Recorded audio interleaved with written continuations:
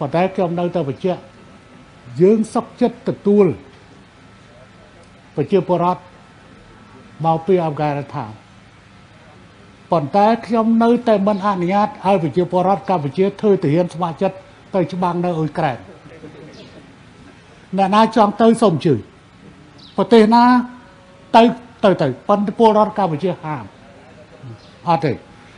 ណា យកសង្កតចាស់លើភ្លើងទៅអាហ្នឹងទុកឲ្យគេចរចាទៅគេស្វែងរកដំណោះស្រាយទៅដំណោះស្រាយទៅប៉ុន្តែ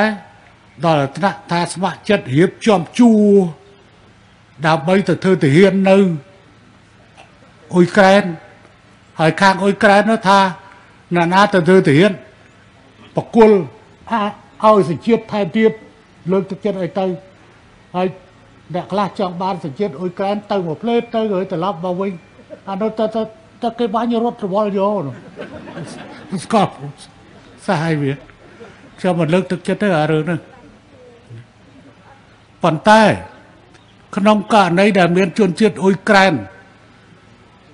ភៀសខ្លួនមកដល់កម្ពុជា